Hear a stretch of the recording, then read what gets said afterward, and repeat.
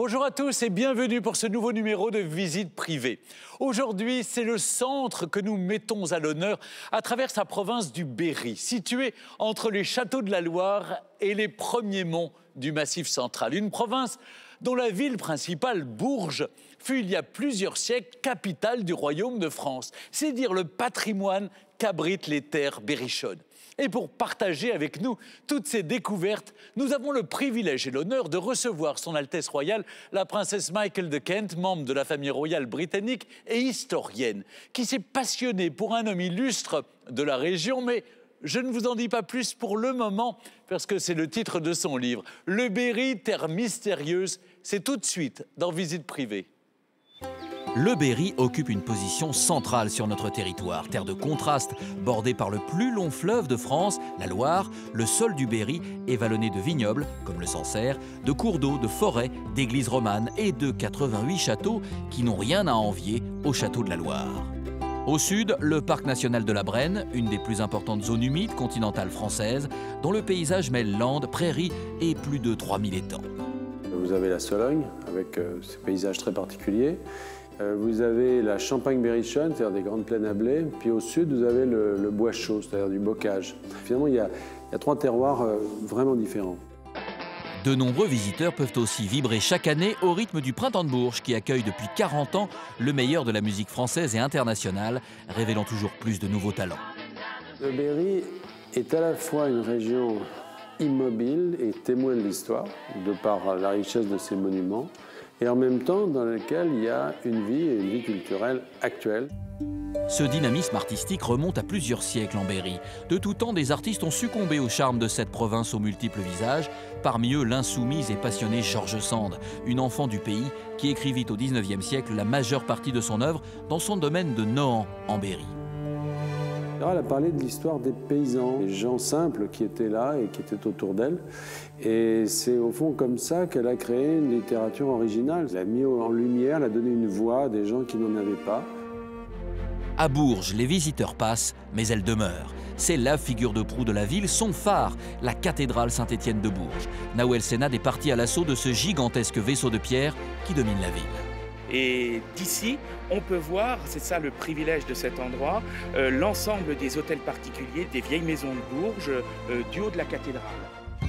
Et du haut de la cathédrale, impossible de passer à côté des multiples châteaux qui surplombent les terres berrichonnes.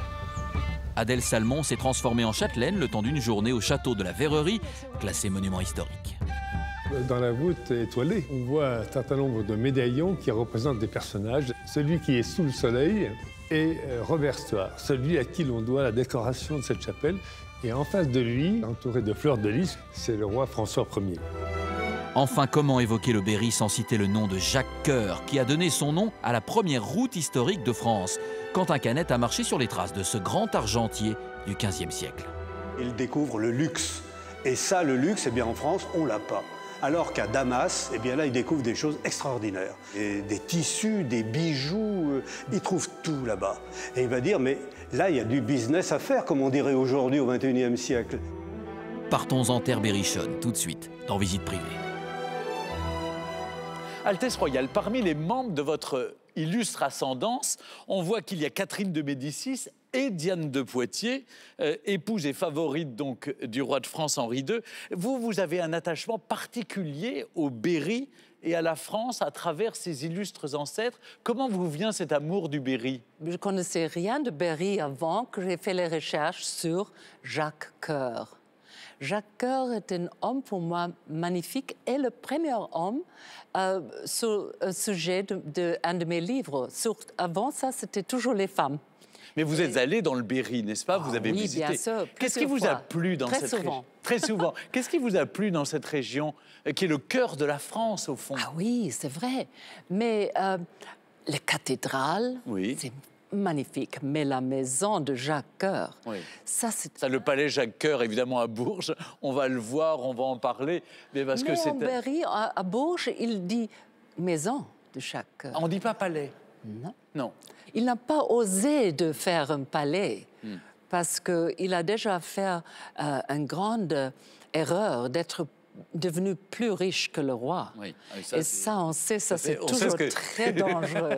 faut jamais être plus riche que le roi. Alors, les uns les autres, vous êtes allés, évidemment, pour visite privée, nous faire découvrir les beautés du Berry. Qu'est-ce qui vous a, qu'est-ce qui vous a plu, Nawel, Adèle, Quentin? Qu'est-ce qui vous a plu? Moi déjà, ce qui m'a frappé, c'est vraiment l'histoire qui est euh, absolument omniprésente euh, dans la région, entre euh, les musées, les abbayes médiévales, les châteaux. Donc on est tout le temps constamment imprégné de cette histoire. Et puis ce sont aussi les paysages euh, qui m'ont vraiment euh, frappé parce que j'ai eu la chance d'y aller à la fin de l'automne. Donc les paysages étaient vraiment sublimés par les couleurs de l'automne. C'était magnifique. Mais Nawel, c'est une terre d'histoire. On peut rappeler que le Berry a occupé une position euh, très importante pendant la guerre de Cent Ans.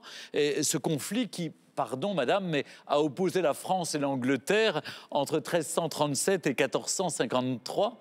Exactement. Bah, le dauphin, futur euh, Charles VII, justement, s'est installé euh, à Bourges pour en faire la capitale du royaume. Et euh, pourquoi est-ce qu'il a voulu s'installer à Bourges? Parce que son grand-oncle, donc le duc Jean de Berry, euh, était lui aussi un illustre personnage. C'était d'ailleurs un, un mécène généreux et un grand ami des arts. Et d'ailleurs, le, le roi Charles VII a été surnommé le petit roi de Bourges. Oui, parce que je crois qu'il a dû quitter, c'est ça, Paris en catastrophe. hein. Oui, bien sûr. C'est ça, bien il, sûr. il a trouvé refuge à Bourges. Ce qui est assez étonnant dans les généalogies royales, justement, c'est qu'au fond, tant la famille royale britannique que vous-même, madame, vous avez une ascendance française Ah oui. très Et importante. rien d'anglais. Mais Qu'est-ce que je peux faire Qu'est-ce que je peux faire? Et alors, on va parler de façon très objective de ce Berry, inspirant, mystérieux. Le Berry est une terre qui continue d'écrire son histoire. Et s'il est une institution locale incontournable, eh bien, c'est bien la cathédrale de Bourges, dont Son Altesse Royale parlait il y a un instant, une œuvre majeure de l'art gothique, construite dès le XIIe siècle et toujours debout. Nawel, c'est vous qui avez eu l'honneur d'ouvrir ces portes de la cathédrale de Bourges. C'est ça, et comme vous l'avez dit, elle est bien debout puisque euh, peu importe où l'on se trouve à Bourges, on peut voir la cathédrale de Bourges. Donc c'est absolument euh, incroyable. Et puis ce qui est absolument fou aussi, c'est que à peine passé les portes de la cathédrale, euh, on, a un- on fait vraiment un bond dans le temps et on a l'impression d'ouvrir un livre d'histoire en fait sur, sur l'histoire du Berry, sur la région du Berry. Eh bien, nous vous accompagnons très volontiers, d'autant que cette cathédrale de Bourges est inscrite au patrimoine mondial de l'UNESCO depuis 1992. Lorsque l'on vient à Bourges, c'est pour découvrir ses marais, sa cité médiévale, mais surtout son immanquable et imposante cathédrale située en plein cœur de la ville. Souvent comparée à un vaisseau de pierre, la cathédrale Saint-Étienne de Bourges est depuis 1992 classée au patrimoine mondial de l'UNESCO. Un titre à la hauteur de cet édifice qui accueille chaque année plus de 600 000 visiteurs. Partons à la découverte de cette institution du Berry. Bonjour Olivier Nolot, Bonjour Nawel. vous êtes historien. Ouais. Alors comment est née cette cathédrale? Elle a été construite dans les années 1180-90. On n'en connaît pas l'architecte. Par contre, on en connaît les intentions. Euh, le clergé de la cathédrale a voulu montrer le pouvoir qui était celui des archevêques de Bourges, pouvoir qui s'étendait euh, sur le sud-ouest de la France. Bourges dominait aussi sur Bordeaux et, et Toulouse. Et c'était une ville royale. Donc il fallait, par un édifice majestueux, montrer ce pouvoir des archevêques de Bourges qui était soutenu par les rois de France. Alors moi j'ai envie de savoir quelle est la particularité de cette cathédrale. c'est que vous avez la, la façade la plus grande de cathédrale gothique euh, en Europe. Généralement, sur une façade, vous avez trois portails, et là, vous avez cinq portails. Parce qu'on a voulu imiter les grandes églises euh, de l'Antiquité chrétienne et romaine. Et je pense que le plus intéressant pour comprendre cet architecte, eh bien, c'est de rentrer dans la cathédrale pour voir euh, ce qu'il a fait. Et je vous invite à me suivre. Ah oui j'ai hâte. À peine passées les portes de la cathédrale, 5900 mètres carrés d'histoire s'offrent à mes yeux. Je suis saisie par la splendeur et l'originalité de l'édifice. À l'intérieur, pas de transept ni même de séparation. Rien que des arcades sur 5 étages et une nef dont la clé culmine à 37 mètres de haut. Un espace unifié souhaité par l'architecte de la cathédrale. Ah oui c'est impressionnant. Alors voilà, vous voyez ici la beauté de ces vitraux, dont la particularité, c'est qu'ils sont accessibles. On les voit, ils sont très proches. On peut même les toucher. Ah à la je- limite, je vous pourriez les toucher, toucher. peut-être difficilement. Je suis un peu petite, Mais mais. euh, vous arrivez à, à les voir. On peut en voir à la fois la technique, on peut en voir aussi les différentes couleurs et on peut suivre les histoires qui nous sont racontées dans ces vitraux. La particularité, c'est que euh, ces lumières se projettent sur l'architecture et quand on a la chance d'avoir un beau temps, eh bien les lumières sont projetées sur l'architecture et on a une ambiance lumineuse tout à fait exceptionnelle. Visible dans toute la ville, la cathédrale de Bourges fait depuis le XIIe siècle partie intégrante de la vie des Berruyers. Pour comprendre le lien qui les unit, je vais devoir escalader 391 marches. Voilà. Waouh, nous voilà sur le toit de la cathédrale. Ah, tout à fait. Alors d'ici, on peut voir tout Bourges. Tout à fait, vous voyez toute la ville. À commencer par les établissements militaires hein, qui ont été fondés à l'époque de Napoléon III. Bourges est une ville d'arsenal encore aujourd'hui. Les fameux marais de Bourges. Les célèbres marais Voilà, de Bourges avec là. ses jardins. Toute la vieille ville est entourée par des zones euh, plus ou moins marécageuses. Ici, nous avons la, cité médiévale. Bourges a la chance d'avoir un secteur sauvegardé parmi les plus importants de France. Et d'ici, on peut voir, c'est ça le privilège de cet endroit, euh, l'ensemble des hôtels particuliers, des vieilles maisons de Bourges, euh, du haut de la cathédrale. Alors c'est vrai que du toit de cette cathédrale, on domine la ville de Bourges. Quelle est l'importance de la cathédrale pour les Berruyers? Eh bien, je pense que les Berruyers, tous euh, dans leur diversité, ils sont fiers de leur cathédrale. Ils ont un rapport, je dirais, physique et, sensuel même avec leur cathédrale, qu'ils aiment traverser avec leurs courses, avec leurs enfants. Quand ils veulent se déplacer d'une partie de la ville à l'autre, ils préfèrent passer à l'intérieur euh, de la cathédrale. L'ancien bedeau de la cathédrale parlait du boulevard Saint-Étienne. Et je pense que pour le, le Berry aussi, c'est important, car la cathédrale de Bourges est la cathédrale des deux départements berrichons, c'est-à-dire du Cher et de l'Indre.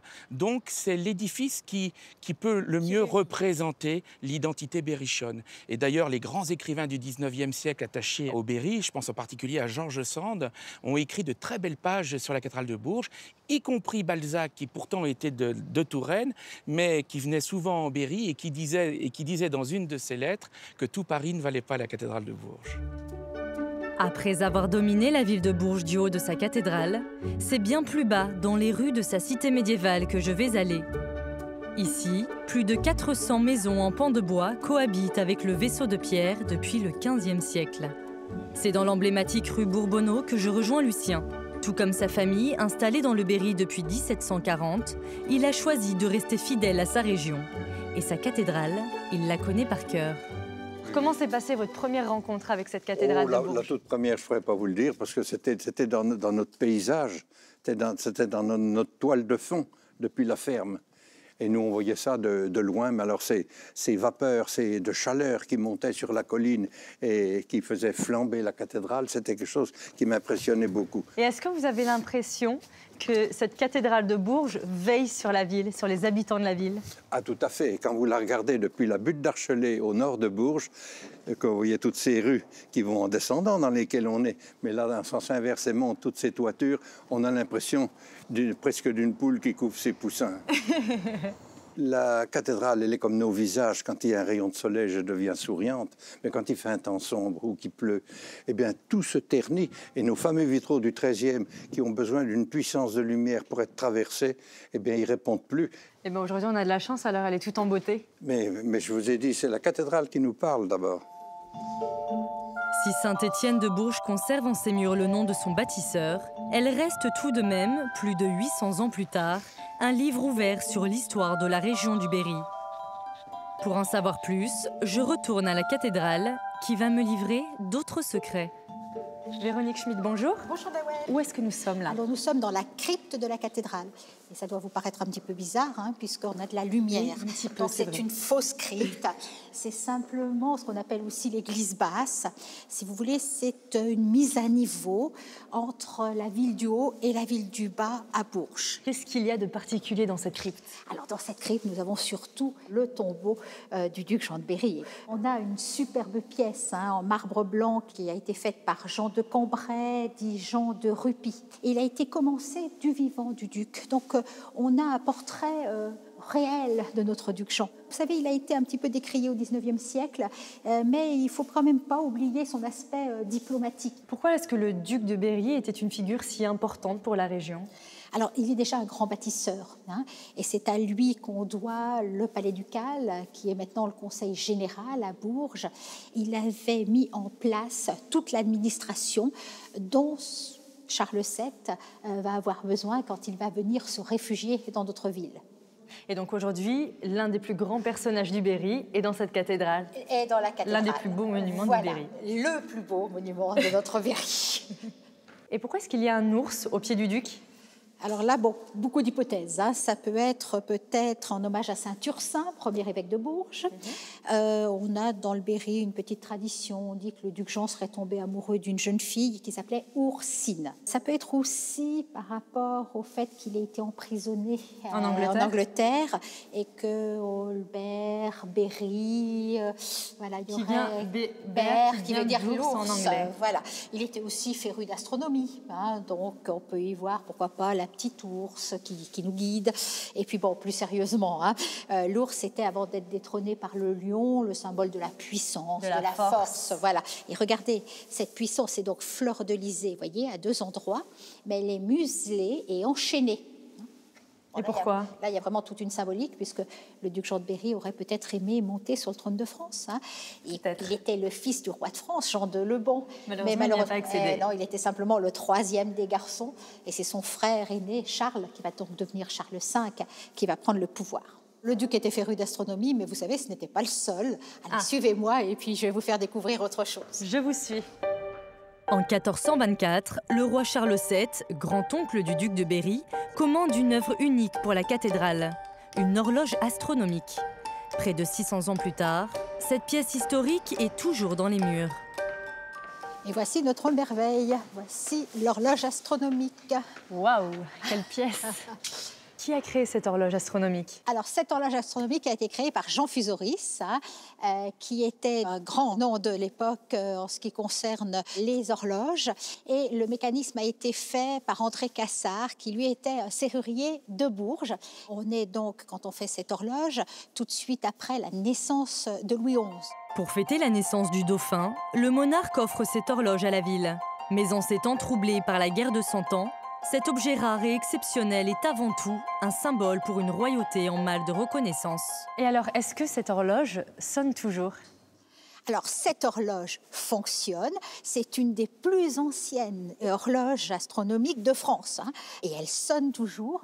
Et à chaque heure, eh bien, elle sonne les quatre premières notes du Salve Regina. Alors on attend, on écoute un petit peu? On écoute.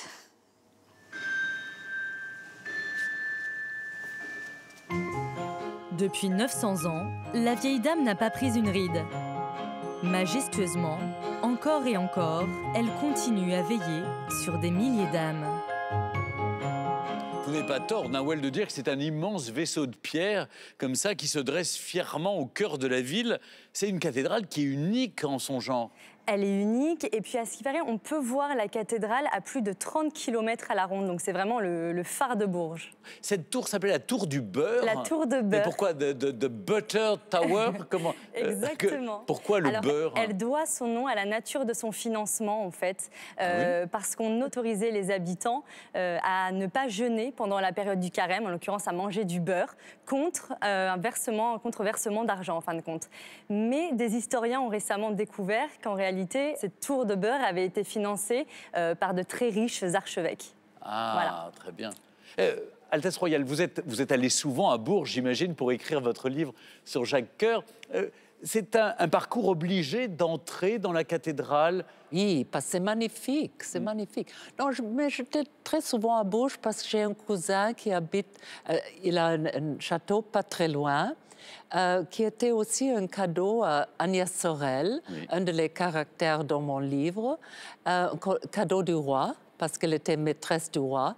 Alors j'avais plusieurs occasions de- d'aller à Bourges, je l'aime beaucoup, mais cette cathédrale, c'est extraordinaire. Elle est extraordinaire. vraiment extraordinaire. Alors, vous avez trouvé, euh, Nawel, la- dans la pierre de la cathédrale, mais aussi dans ses, dans ses vitraux, de nombreuses références aux vignes, à la viticulture. Les berruyers seraient les premiers à s'être intéressés euh, à la viticulture, au vin, et en particulier au cépage, au cépage pardon, bituricain. Et c'est de là euh, que viendrait l'expression se prendre une bonne biture. Alors, je ne sais pas si vous connaissez cette expression. Ah oui, bien sûr. on ne le fait pas, mais on Eh en ben, a entendu là. parler. Et en fait, sur ces vitraux du 13e, on peut voir le lien qu'il y a entre les berruyers et la viticulture. Donc c'est alors, extraordinaire. autour de la cathédrale, il y a toutes ces maisons à pans de bois qui ont aussi une histoire. Oui, il y en a 430 exactement. Alors, c'est euh, dans la cité médiévale de Bourges. Euh, et en fait, à l'époque, les, maisons, euh, les maisons des nobles étaient faites de pierre, mais les maisons des commerçants et des artisans étaient, elles, en pans de bois. Malheureux, donc forcément, elles étaient plus vulnérables. Et d'ailleurs, il y a eu en- au XVe siècle un grand, un immense incendie, Incendie qui a, a tout dévasté. Mais heureusement, juste après, il y a eu un immense chantier de rénovation, de restauration. Et on peut aujourd'hui admirer ces- ces anciennes maisons. Alors, si nous avons le privilège d'avoir la princesse Michael de Kent avec nous aujourd'hui, ce n'est pas par hasard, mais aussi parce que le Berry et la Grande-Bretagne sont intimement liés depuis des siècles. Aujourd'hui encore, on peut entendre le son de la cornemuse résonner en terre berrichonne. C'est un peu ça, Adèle, n'est-ce pas? Oui, c'est exactement ça, Stéphane. C'est assez surprenant d'ailleurs. Mais euh, aujourd'hui, en terre berrichonne, euh, on peut croiser des berrichons en kilt. Et quand le kilt est sorti, eh bien, la cornemuse n'est jamais très loin. Vous allez voir. C'est incroyable. Vous nous emmenez où alors? Je vous emmène au château de la Verrerie. Ah, mais c'est une institution du patrimoine en terre berrichonne. Eh bien, explorons ensemble cette véritable merveille de notre patrimoine.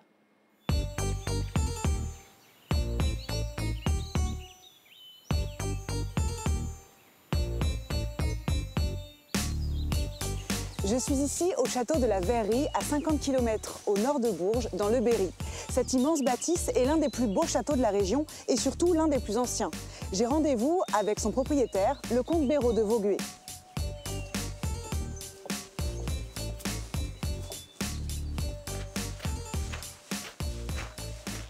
Bonjour Monsieur de Vaugué. Bonjour Adèle. Merci de nous recevoir ici euh, dans votre château. Je vous en prie. La première pièce que je vais découvrir, c'est le grand salon du 19e siècle. Ici, l'histoire de la famille s'écrit sur les murs depuis 1842. Alors, J'ai voulu rassembler dans ce salon tous les propriétaires du château. Donc il y a Léonce, l'acquéreur, son fils Charles Melchior, académicien et archéologue, le fils de Charles Melchior, Louis de Vaugué, dernier président de la Société du canal de Suez, mon père qui a été lui le premier euh, résident permanent euh, du château de la Verrerie.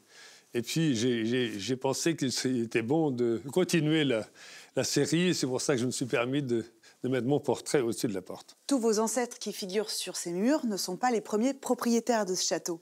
Non, non, non, ils sont la continuité d'une histoire bien plus ancienne. Mais alors, qui a construit cet édifice? Pour le savoir, j'ai rendez-vous dans la bibliothèque avec Yves Fromillon, le député du Cher, qui connaît bien l'histoire de la verrerie.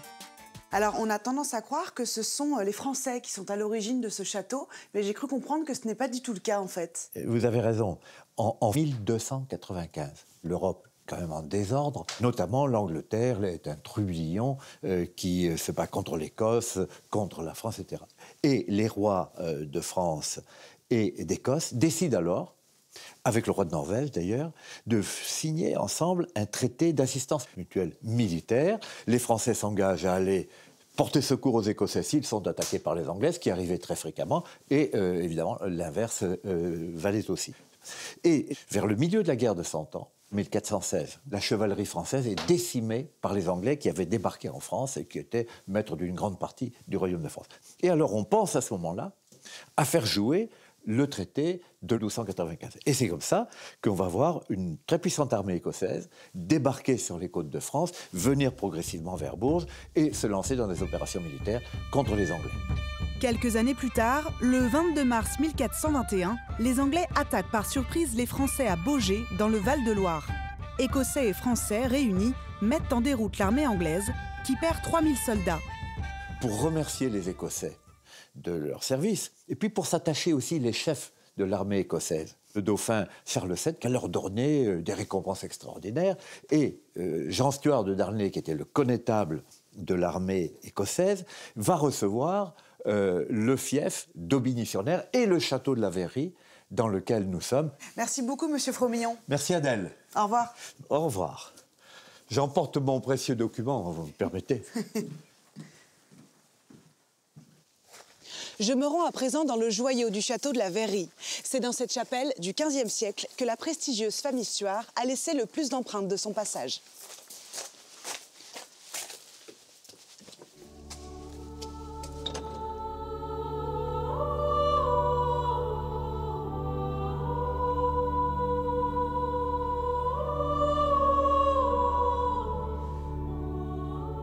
Monsieur de Vaugueux, il me semble que les premiers propriétaires de ce château sont inscrits jusque dans la voûte de cette chapelle. Oui, puisque dans la voûte étoilée, euh, on, voit un certain nombre de médaillons qui représentent des personnages. Celui qui est sous le soleil est euh, Robert Stuart, celui à qui l'on doit la décoration de cette chapelle. Et en face de lui, entouré de fleurs de lys comme il se doit, c'est le roi François Ier, qui était contemporain donc de Robert Stuart. Sur ce tabernacle, qui est de la même époque, on remarque les- armoiries Stuart qui est donc le, damier et la fleur de lys. Pourquoi la fleur de lys? Eh Parce que c'est un des privilèges que leur a accordé Charles VII après la fameuse victoire de Beaugé, c'est d'incorporer les, les- de France dans leurs armoiries qui étaient à l'origine un simple damier. Je crois que cette chapelle détient aussi un mystère. Expliquez-nous ce qu'on voit sur ce mur. Alors, ce personnage qui est un gisant, qui, qui a tout lieu, on a tout lieu de penser que c'est un mort, d'autant plus qu'au-dessus de lui est la mention Priez Dieu pour lui. Alors, honnêtement, je dois vous dire que personne n'a à ce jour osé sonder le mur pour voir ce qu'il y avait derrière. Je pense que c'est quelque part quelque chose qui reste à découvrir et je laisse aux générations suivantes. Le château de la Verrerie est situé au cœur d'un parc de 40 hectares. Le point d'orgue, cet étang qui fait face à l'édifice. Alors j'ai cru comprendre qu'autour de cet étang, il y avait des arbres qui étaient très anciens.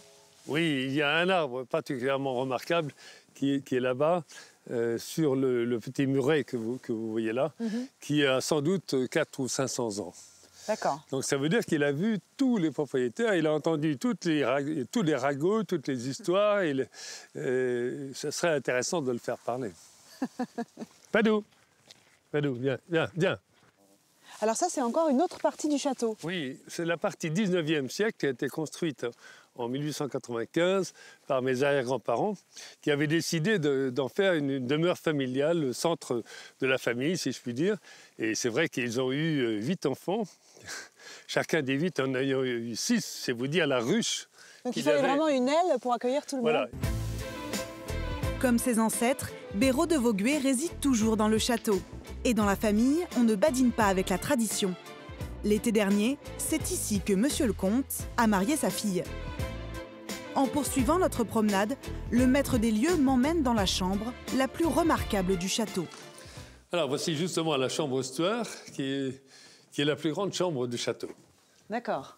C'est la chambre traditionnellement du maître de maison. Ça a été la chambre des rois, François Ier, Louis XII, qui sont passés. Et donc j'ai pris un certain soin à restaurer cette chambre, et, et particulièrement la salle de bain, qui était une terrasse ouverte, qui donnait sur le parc et sur l'étang, que j'ai transformée en salle de bain de séjour. L'après-midi, le soleil tourne autour de, de la salle de bain. Donc c'est- une vision euh, très agréable et très, très champêtre. Si Monsieur le Comte a fait autant de travaux, c'est parce qu'il a transformé une partie des lieux en une douzaine de chambres d'hôtes. Alors où est-ce qu'on est ici?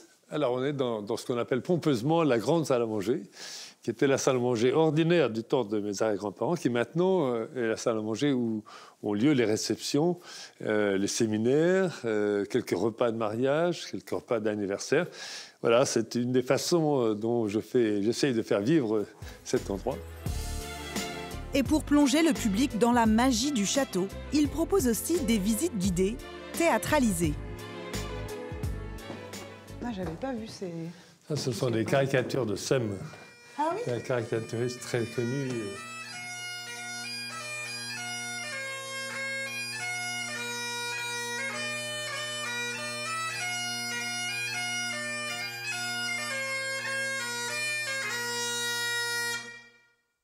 Bravo Bon alors vous êtes écossais pour jouer comme ça de la cornemuse? Non, nous sommes euh, du Berry, on est euh, berrichon et euh, on joue de la cornemuse écossaise. Aubigny-sur-Ner, qui est une ville à quelques kilomètres de la Verrerie, euh, eh bien, est une ville qui a été écossaise pendant plusieurs siècles. Et euh, bah, c'est là que cet amour de l'Écosse a dû rester euh, dans nos gènes.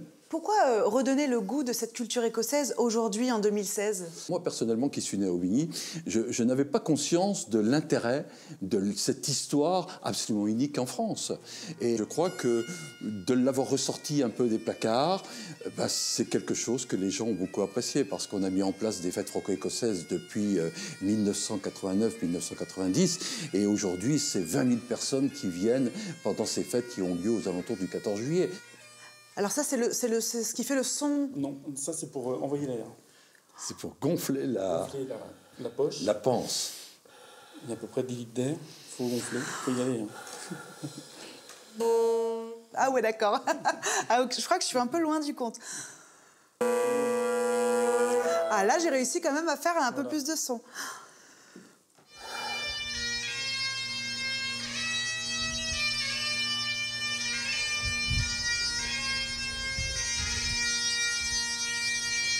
Bravo pour cette, euh, cette initiation à la cornemuse. Euh, je ne sais pas si vous avez. je- je Moi, je n'ai jamais essayé. Non, non, je suis. Par contre, on peut être réveillé. Je sais qu'il y a certains châteaux de Grande-Bretagne, comme Balmoral, où on peut être réveillé le matin par Oui. le son de la cornemuse. Oui, oui, c'est agréable.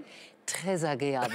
Quand c'est dehors. Mais c'est quand, quand, quand on doit en- entendre dedans, c'est un peu, un peu trop. Un peu trop, je fort, comprends ouais. volontiers. Mais dehors, c'est magnifique. C'est magnifique, oui. Qu'est-ce que vous avez ressenti, Adèle, au château de la Verrerie? Mais écoutez, c'est assez incroyable. Moi, j'ai vraiment eu l'impression d'être télétransportée au XVe siècle. On a l'impression que rien n'a bougé depuis le passage de François Ier. Euh, et puis alors, avec ce son de la cornemuse, qui est vraiment une ambiance sonore intemporelle, on entre vraiment dans une, dans une autre époque. C'est assez magique. Bah, de, de façon tout à fait euh, erronée, en quelque sorte, je parlais des relations entre la France et la Grande-Bretagne. J'aurais dû dire entre la France et l'Écosse. Parce que c'est vraiment euh, un lien très fort. Euh, vous, parlez de la, ville d'Aubigny-sur-Ner, par exemple. Il y a- un lien avec, l'Écosse. Oui, et ce lien est très important parce qu'en fait, euh, la ville d'Aubigny-sur-Ner revendique le titre de cité des Stuarts, puisque les Stuarts ont construit leur château. C'est Robert Stuart qui a construit ce château au début du XVIe siècle. Et puis aujourd'hui, les liens perdurent, non seulement avec les fêtes franco-écossaises dont je parle dans le sujet, et aussi parce qu'à Aubigny-sur-Ner aujourd'hui, il y a un pub écossais, Aubigny a sa propre marque de whisky local. Donc c'est quand même... euh, Il y a eu la, la vieille alliance, quand même. La France, enfin, l'Écosse nous a donné une reine, l'épouse de, de- de François II, Marie Stuart, qui ensuite est devenue euh, euh, reine d'Écosse. Et puis les Stuarts se sont réfugiés en France euh, sous le règne de Louis XIV euh, au château de Saint-Germain. Donc on a eu comme ça ces liens entre la France et l'Écosse qui sont toujours très, très. Je ne pensais pas qu'ils étaient à ce point aussi vivants. Si, si, et puis il y a vraiment des gens qui mettent un point d'honneur à faire perpétuer ces traditions. Alors, ce qui est incroyable, Votre Altesse Royale, c'est qu'il y a dans le Berry, on a recensé pas moins de 88 châteaux. Vous avez eu le temps de les visiter, euh, j'imagine euh, Quelques-unes. Quelques-uns, oui. Yes, Mm. Quelques-uns. Mais on ne doit pas oublier que Marie Stuart était reine de France aussi. Aussi, bien pas sûr. très longtemps, mais Non, elle mais- était. oui, C'était que- Catherine de Médicis qui l'a poussée dehors. Mm, mm. Elle est rentrée chez elle. Oui, et elle était obligée Et de très ma- repartir. ma- malheureux. Oui. C'est vrai qu'on a quand même une fâcheuse tendance à, à chasser facilement les Anglais en France. Mais nous, on vous garde, on vous garde, surtout dans le Berry. Ça y est, vous avez fait, vous, vous- vous avez fait votre place maintenant dans le Berry. Vous pensez? Oui, j'en suis sûr. Alors, c'est vrai que, euh, Adèle, je crois qu'il y a un auteur célèbre aussi de notre littérature qui aimait se promener sur les chemins comme ça, euh, noués autour de- du château de la Verrerie. Oui, absolument. En fait, le château et le parc ont inspiré euh, Alain Fournier, l'auteur euh, Du Grand Maulne. Le Grand Maulne, évidemment, publié en 1913. Et c'est vrai que l'écrivain a grandi non loin du château de la Verrerie, en Sologne. Et on dit que plusieurs châteaux, dont celui de la Verrerie, lui ont inspiré ce grand classique de notre littérature. Alors, il y a une des premières routes de beauté. euh, ces fameuses routes de beauté qui permettent de faire des circuits touristiques et qui permettent pour le public de visiter notre patrimoine en France, c'est la route Jacques Coeur. La route Jacques Coeur a été créée en 1954 pour mettre en valeur particulièrement ce, patrimoine berrichon. Oui, en fait, cette route est le plus vieux circuit touristique euh, français. Elle a été créée en 54 par trois propriétaires de châteaux qui voulaient à l'époque mettre en valeur leur patrimoine. Et donc, euh, ils ont commencé à organiser euh, des, sortes de visites, des visites guidées de leur site. Et puis, petit à petit, tout ça a pris un peu d'ampleur. Aujourd'hui, il y a 17 membres, donc des châteaux, des abbayes, des musées. Et ils veulent un petit peu aller au-delà des visites guidées traditionnelles. Donc, ils proposent parfois des sortes de, de, de, de d'eau géants mhm. euh, où les visiteurs viennent pour, aller hors des sentiers battus. Voilà, c'est ça, pour résoudre des énigmes. Euh, voilà, donc ça peut être pas mal pour les gens qui ne sont pas forcément férus d'histoire. Comme ça, ils peuvent s'intéresser un peu à des thématiques historiques, mais, d'une autre façon. C'est merveilleuse en plus. C'est le cœur même de la France. On est, je crois que c'est le point central de la France. Oui, tout à fait. Mm. Alors, on parle de lui, on ne cesse de parler de lui. Euh, on parle de la plus vieille route historique de France, porte son nom. Il s'est fait édifier un palais, une maison, devrais-je dire, en plein cœur de Bourges et faisait partie des hommes les plus puissants du XVe siècle. Mais qui est donc ce Jacques Coeur Qui vous a, madame, inspiré ce livre, Jacques Coeur, le vif argent? Eh bien, la réponse avec vous, Quentin. Effectivement, c'est vrai que Jacques Coeur est quand même un personnage particulièrement attachant, tant on a l'impression qu'il n'a pas vécu, j'allais dire, dans le bon siècle, euh, ni à la bonne période, ni dans le bon pays. Imaginez cet homme qui est du XVe siècle et qui décide de conquérir le monde pour ramener ses richesses. Eh bien, euh, j'ai décidé d'enquêter sur la vie de cet homme, businessman et aventurier, avec vous, madame, d'ailleurs, en me rendant à son palais un lieu qui recèle de nombreux indices pour qui sait les voir. Ah, eh bien, ouvrons les yeux et allons ensemble avec vous, Quentin, mais aussi avec Son Altesse Royale, la princesse Michael de Kent, découvrir ce grand homme qui a marqué l'histoire du Berry au XVe siècle.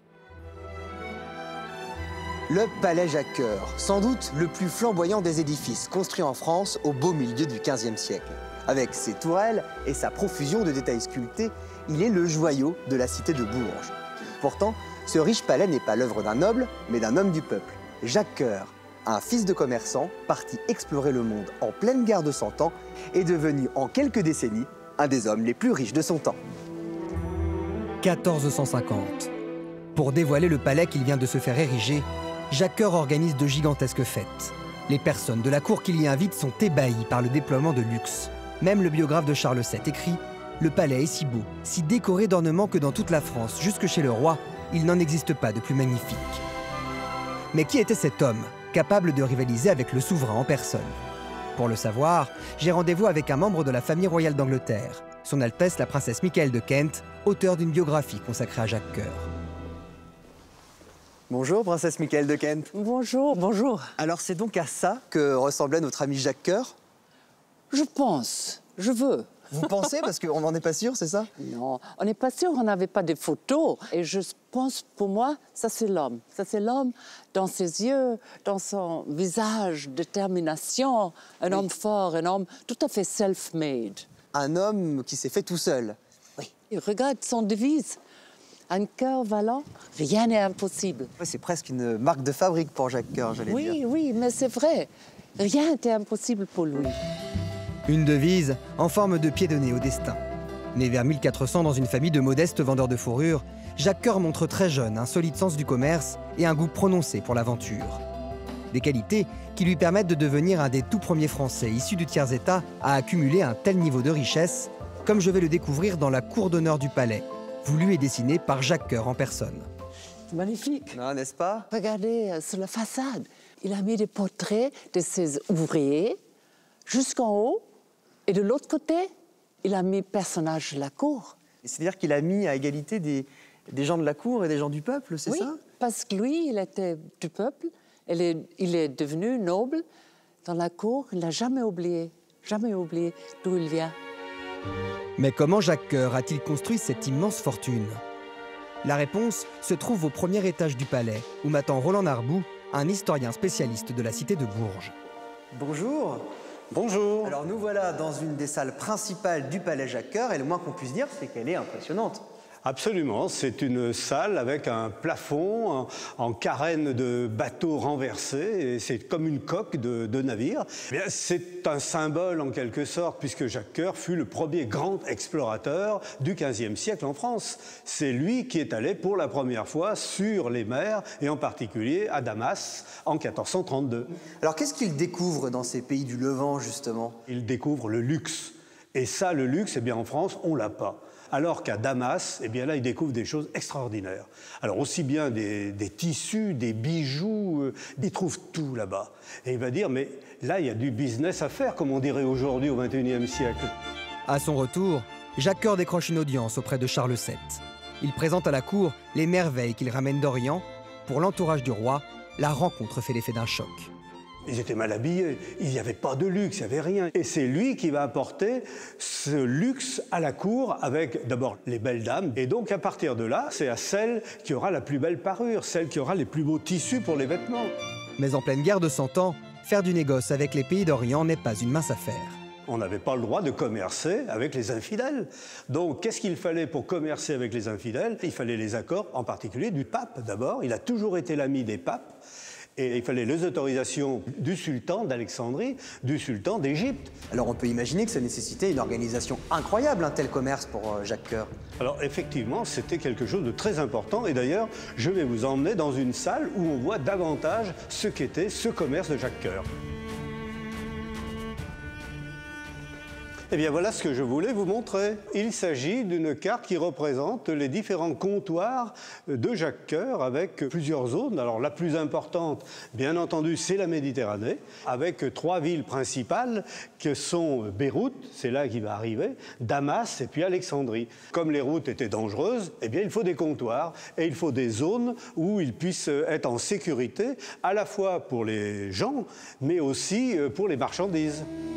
À la tête de chacun de ces comptoirs, Jacques Coeur installe des facteurs, un réseau de plus de 200 hommes entièrement dévoués à sa cause et intéressés aux bénéfices. Alors c'est pas le seul coup de génie de Jacques Coeur, il va aussi avoir une autre idée remarquable, je crois. Racontez-nous. Jacques Coeur va construire des bateaux. Il va créer une flotte de navires. C'est ça qui va faire son- sa fortune, on va dire. À partir de, de ce moment-là, eh bien, il achète, il vend et il transporte. Et Jacques Coeur, là, eh bien, il est autonome, totalement autonome. Et c'est en quelque sorte une, une forme de multinationale, avant la lettre, bien sûr, au XVe siècle. Jacques Coeur diversifie alors son activité. Il effectue du commerce de métaux précieux et met en place un système de prêt bancaire. La marque Jacques Coeur rayonne alors sur tout le bassin méditerranéen. Et c'est ainsi que Jacques Coeur jette les bases du capitalisme à la française. Symbole de cette réussite, en 1441, son ami le roi Charles VII lui accorde ses lettres d'anoblissement. Jacques Coeur a environ 40 ans, il vient de gagner sa place parmi les puissants. L'homme d'affaires va alors s'atteler à construire un gigantesque empire foncier au cœur de sa région d'origine, le Berry. C'est ce que je vais découvrir en me rendant à 60 km au sud de Bourges, au château d'Ainay-le-Vieil. Bonjour Madame de la Tour d'Auvergne. Bonjour. Alors nous sommes bien loin des routes commerciales qui ont fait le succès de Jacques Coeur. Qu'est-ce que votre château a à voir avec le célèbre argentier? Ah, mais il y a un lien très très direct. Il en a été le propriétaire. Il l'a acheté à une famille très connue de la région, des Sully, qui, comme beaucoup de gens de la noblesse, avaient beaucoup souffert de cette guerre de Cent Ans. Et donc, ils avaient besoin de doter leur fille qui allait se marier. Et du coup, ils l'ont dotée en vendant Aîné. Pourquoi est-ce que Jacques Coeur achète Aînay Un château apportait à l'époque euh, beaucoup de biens et donc des rentrées financières sur, par les terres, etc. Et puis, euh, il voulait acquérir un prestige. Il était nouvellement anobli, donc il voulait se situer comme les gens de la noblesse autour du roi. Et puis, Aînay était un lieu prestigieux et le prestige retombait sur lui. Une opération que Jacques Coeur reproduit un peu partout. Menez tout salon, Sancerre, le marchand devient rapidement un des plus grands propriétaires de la région. Mais la plus majestueuse de ses propriétés reste son palais de Bourges, pour lequel l'argentier dépense sans compter. Nous arrivons dans une des plus belles salles euh, du palais Jacques Coeur, qui est la salle des festins. À quoi elle sert cette salle? Eh bien, euh, c'était une salle d'apparat une grande salle où se donnaient des réceptions, un peu d'ailleurs euh, comme aujourd'hui où on a toujours euh, des cartons, euh, ça c'est pour des tréteaux, pour une réception. Et donc c'est une des magnifiques salles avec énormément de sculptures, beaucoup de sculptures et puis tout le confort.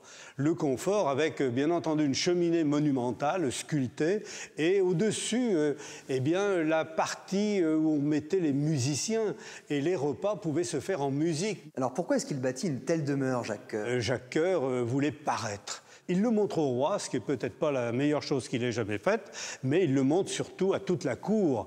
Et la cour est à la fois estomaquée de voir cette maison, mais aussi inquiète de voir la puissance et le pouvoir de l'argentier.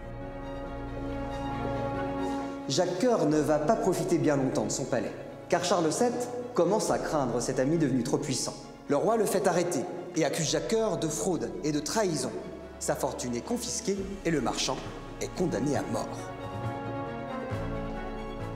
Alors, est-ce que Jacques Coeur va finalement être exécuté? Non, la peine va être commuée euh, en détention à perpétuité par le roi Charles VII sur l'entremise quand même du pape. Donc il est mis en prison. Et là, eh bien, il est délivré par euh, ses facteurs. Il réussit à s'évader, à franchir une grande partie de, de la France. Et il va passer en Provence, puis à Rome, où il sera accueilli par le pape. Le souverain pontife demande alors à Jacques Coeur de partir en croisade.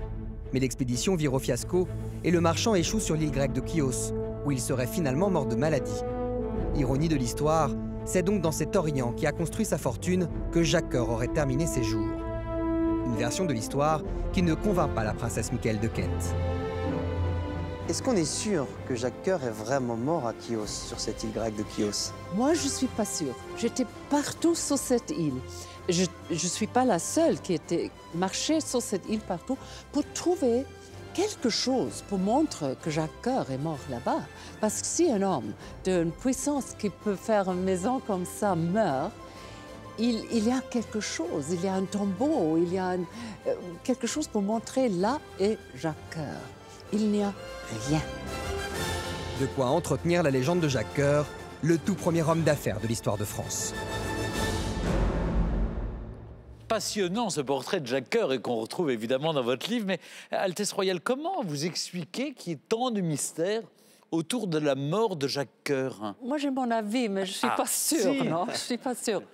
Il y a une légende. Il y a une légende que une nuit, Jacques Coeur est parti de Chios, c'est là où il est, il, il paraît mort, avec ses trois navires. Il est parti pour Chypre. Et là, il a rencontré une dame, il l'a mariée, il a eu deux filles avec elle. Mais j'adore l'idée. Oui. J'adore l'idée parce que ça, c'est une autre vie. Et pourquoi il doit rester là-bas pour faire cette mourir à Chios. Alors c'est une explication effectivement. Alors a priori, je ne voudrais pas vous décevoir, euh, chère madame, mais il semblerait que ça soit une légende qui soit né au XVIIe siècle parce qu'on a cherché à faire de Jacques Coeur un, héros chevaleresque, j'allais dire un grand chevalier qui ne pouvait pas mourir et que cette légende serait née à cette époque-là. Mais ce n'est pas la seule légende. On a aussi une autre légende qui nous dit que Jacques Coeur serait peut-être rentré en Provence incognito pour pouvoir tout simplement aussi profiter de son immense richesse, ce qui n'est pas non plus totalement euh, euh, stupide, puisqu'on sait qu'il avait ses chantiers navals à Aigues-Mortes, qu'on sait qu'il avait son comptoir central, alors pas en Provence, mais non loin de là, à Montpellier, et qu'effectivement, pourquoi pas, il aurait profité de complicité pour terminer ses jours. Il aurait eu un tombeau quand même. Peut-être, mais tout cela quand même, ça rendre peut-être plus à de la légende, nous sommes d'accord, parce que c'est vrai que cette figure mythique a nourri euh, toutes les spéculations. Toutes les spéculations. Alors, Altesse Royale, vous publiez Jacques Coeur, Le vif argent. C'est au fond le troisième volume d'une trilogie, euh, après avoir mis à l'honneur Yolande d'Aragon et Agnès Sorel. Au fond, euh, Qu'est-ce qui a motivé? Pourquoi Jacques Coeur après, après ces deux femmes? Mais Je suis venue à, à Yolande d'Aragon à cause du livre avant ça, ça c'était le livre sur Diane de Poitiers. Qui, se votre aïeul, votre ancêtre. Oui, euh, tous, tous. Oui, ils sont tous. tous, tous. Ah, moi, je ne sais rien de ces choses, mais il y a toujours des généalogues qui viennent me disent vous... Ah, vous êtes. Ah, bien sûr, OK. Parce que c'est trop loin pour moi. Je rappelle pour ceux qui nous regardent que c'est elle qui a armé Jeanne d'Arc et, qu'elle a eu une influence considérable pour la libération d'Orléans, ah, évidemment. Agnès Sorel, on peut comprendre. Agnès Sorel était la première maîtresse royale, au fond, hein, celle de Charles VII. Et d'ailleurs, une amie de Jacques Coeur, faut Alors, pas une amie de Jacques Coeur, mais il y a une légende qui raconte que Jacques Coeur aurait empoisonné, ou en tout cas laissé empoisonner euh, Agnès Sorel.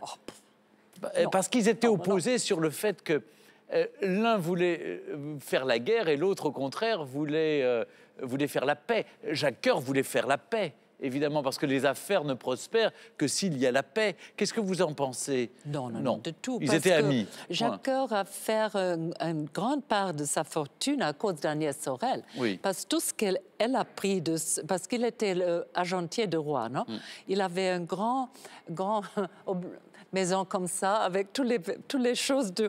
du- Oui, c'est un peu comme le mobilier national, oui, sauf que là, ça appartient à la République et lui, ça lui appartenait. Je pensais que c'est pour ça que vous m'amenez ici. Non, mais ici, on ne peut pas se servir. Non, ici, on ne peut pas se servir. Alors que Jacques Coeur s'est bien servi. Mais au fond, c'est toujours la même histoire, Altesse Royale. C'est-à-dire que vous montrez dans votre livre Jacques Coeur, qui est un, un héros de cette époque. C'est vraiment un, un homme incroyable. Mais jusqu'où montra-t-il C'est-à-dire qu'il y a un moment où ça met en colère le roi de France, comme c'était le cas pour Fouquet plus tard avec Louis XIV, où ils montrent tellement leur réussite que ça agace le- le souverain. Oui, et en plus, cette maison à Bourges était beaucoup plus grande et plus jolie que toutes les autres maisons du roi. Alors, Mm. oui, ça agaçait le Mm. roi. De mon Mm. avis, ça Oui. agaçait le roi. Et Jacques Coeur était un peu... Il a montré un peu trop. C'était de la provocation d'une certaine manière. Mais ce que vous montrez, euh, Quentin aussi, c'est qu'il a été l'inventeur de la mondialisation avant l'heure. Est-ce que c'est l'unique source de sa fortune? Parce que on voit, mais dans votre livre, vous montrez quand même que la fortune était colossale de Mais Jacques vous Coeur. savez comment il a vraiment fait cette fortune Non, dites-moi. J'adorerais avoir la recette. Vous n'avez pas lu le livre. si, si, si, si. J'ai envie d'en partager avec Alors, les, les le téléspectateurs. Premier, le premier voyage qu'il a fait au Moyen-Orient, euh, il, il- il n'avait rien à, à vendre. Il est allé pour faire des recherches, pour voir qu'est-ce qu'il peut acheter là-bas, qu'est-ce qu'il peut vendre là-bas. Et il a trouvé que les Égyptiens, ils ont beaucoup de l'or, mais pas d'argent, silver. Oui? De l'argent, Ah, là, au l'argent, sens, oui. euh, Pas, comme d'argent. ça, mais Là, oui. les mines d'argent.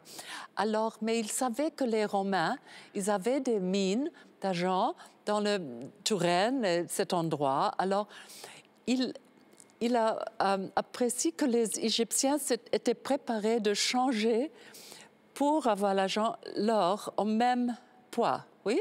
En même, the Au même poids, weight. le même au poids. au même poids. Et c'est là, je crois que, d'ailleurs, on peut le dire, c'est là que le personnage révèle toute sa roublardise, parce qu'en fait, une partie de sa richesse euh, provient d'une forme de fraude. C'est-à-dire que cet or et cet argent, normalement, ne peut pas le faire rentrer comme ça dans le pays, surtout à cette époque-là.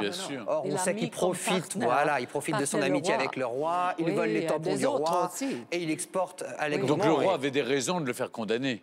alors, le roi avait certes des raisons de le faire condamner si on s'attache simplement à la fraude, mais on peut aussi considérer que, comme pour Jeanne d'Arc, Charles Il VII voulait- a été particulièrement ingrat parce que, Oui. euh, certes, Ou il y a eu malin, cette fraude. ou Alors, malin pour récupérer cette fortune. Bien sûr, mais mine de rien, il ne faut pas oublier que sans la fortune que Jacques Coeur a ramenée, parce qu'il n'a pas euh, fait que vendre des objets de luxe à la cour. hein. Il a aussi fait des réformes monétaires, il a euh, mis de l'ordre dans les hôtels de monnaie du roi. Enfin, le roi Charles VII retrouve la fortune grâce à Jacques Bien Coeur. sûr, les Et caisses de l'État, grâce à on peut le dire, les caisses de l'État étaient vides. Totalement Jacques. Coeur les a remplies aussi. Alors, ce qui est fou, c'est que Jacques Coeur reste quand même la fierté des Berrichons. Hein, c'est vraiment le personnage central de ce Berry.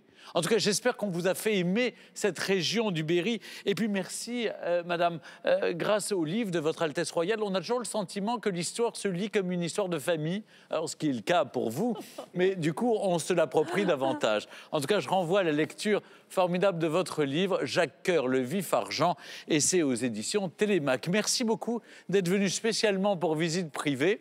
Euh, J'espère en tout cas que ça vous a donné envie de visiter cette région qui a plus d'une richesse du patrimoine vraiment à vous faire découvrir. Je vous retrouve avec un immense plaisir sur France 2 pour une nouvelle plongée dans notre histoire et dans notre cher patrimoine avec visite privée.